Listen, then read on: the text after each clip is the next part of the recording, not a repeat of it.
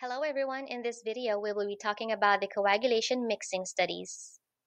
Mixing studies are specialized laboratory tests performed when there is a prolonged coagulation test like prothrombin time and partial thromboplastin time. The PT and APTT show the complex interplay of various factors of the coagulation cascade. A prolonged APTT indicates an abnormality in the intrinsic and common pathway, while a prolonged PT shows an abnormality in the extrinsic and common pathway. When either or both these tests are prolonged, performing the mixing studies can help identify the underlying cause. Mixing studies or tests, as the term implies, represents tests performed on a mixture of patient plasma and normal plasma. If the mixing corrects the test results, a factor deficiency would be suspected. Otherwise, failure to correct suggests an inhibitor interfering with one or more coagulation factors, or the presence of a lupus anticoagulant. The primary purpose of mixing studies, therefore, is to distinguish between factor deficiencies and the presence of inhibitors in the coagulation process. Mixing studies may utilize different mixtures of patient and correction reagents. Generally, a 1 is to 1 or 50-50 equal volumes is applied. Correction reagents used are the following: normal plasma or fresh plasma, aged plasma, aged serum, and adsorbed plasma.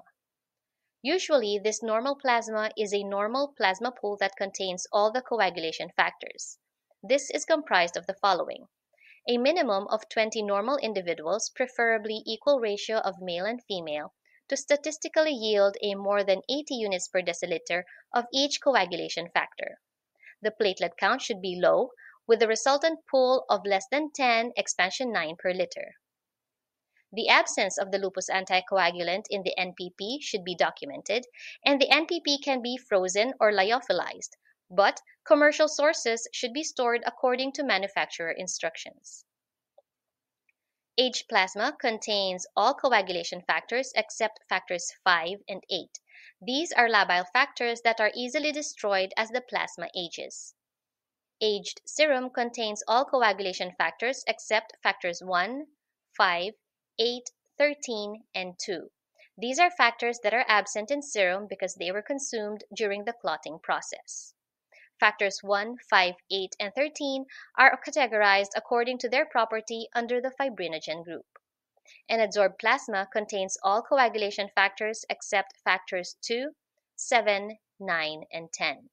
These factors are categorized under the prothrombin group and can be absorbed from the plasma when using barium sulfate or aluminum hydroxide. When performing mixing studies, the patient's plasma is mixed with the different control or correction reagents, and then the abnormal PT or APTT is retested on the mixed sample.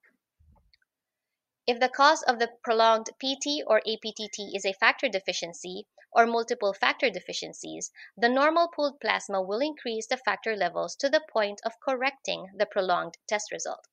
However, the addition of normal pooled plasma will not correct the prolonged test result if the cause is a coagulation inhibitor. Let's give an example. Let's say a patient result has a prolonged APTT and a normal PT. This would suggest a coagulation factor deficiency in the intrinsic pathway, specifically factors 12, 11, 9, and 8. The extrinsic and common pathways are not considered since the PT is normal.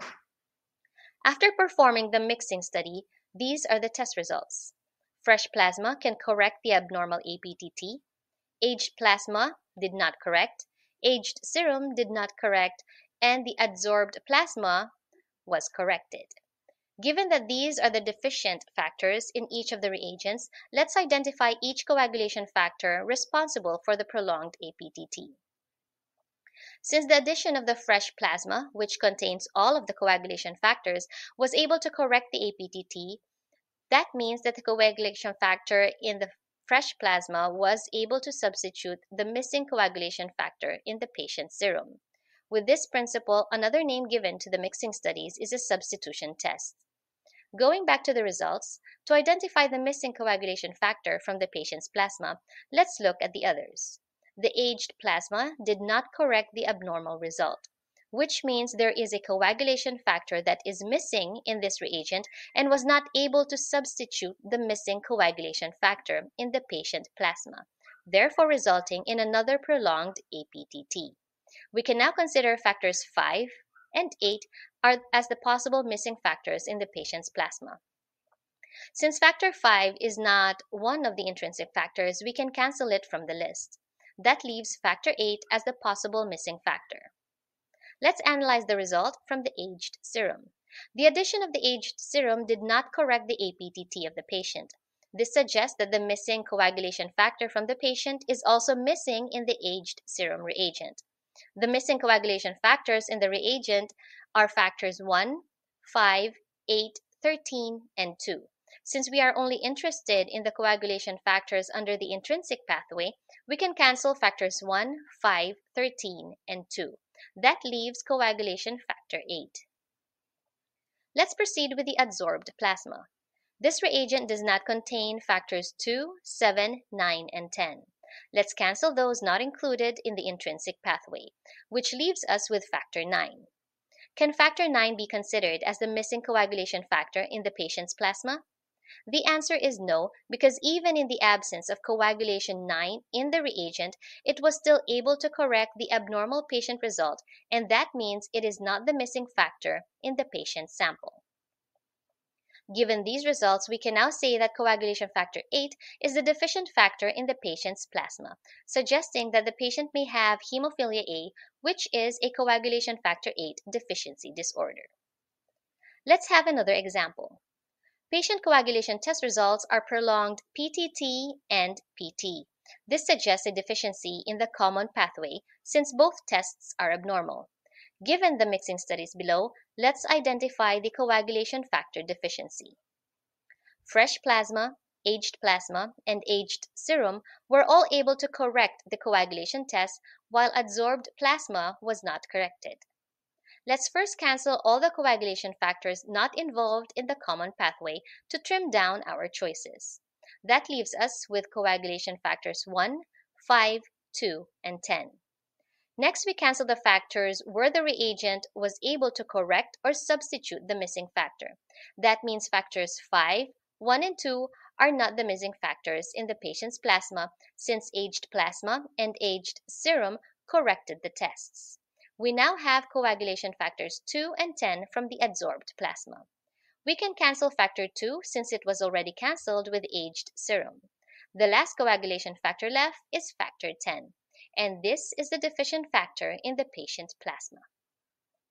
For our last example, a patient's PT and PTT are both abnormal, and after the mixing study, fresh plasma was not able to correct the tests. Since the test remains elevated despite the addition of the correction reagent that contains all coagulation factors, this suggests that there is an inhibitor present in the sample responsible for the prolonged test and not a coagulation factor deficiency. Examples of these inhibitors are heparin, lupus anticoagulants, and specific factor inhibitors. In this case, there is no need to perform the other substitution tests. Mixing studies are usually performed as an immediate mix test, meaning that the patient plasma is mixed with NPP and the test is performed immediately after. However, some inhibitors like factor VIII inhibitors and some lupus anticoagulants are time and temperature dependent. Their inhibitory effects are not immediately evident and only become fully expressed after some time and at temperatures higher than ambient room temperature. Thus, when immediate mixing tests are performed with such samples, the mixtures may show a false correction, since the inhibitors are not yet able to inhibit the factors from the NPP. Another mixing study would need to be performed with incubation at 37 degrees Celsius for 1 to 2 hours to fully express the inhibitor and to show a non-correction in the mixture.